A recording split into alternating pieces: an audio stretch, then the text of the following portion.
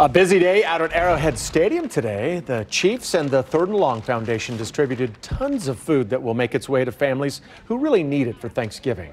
Look at all those sacks. This food will go to more than 200 churches and nonprofit groups that will see that it goes to families who need it.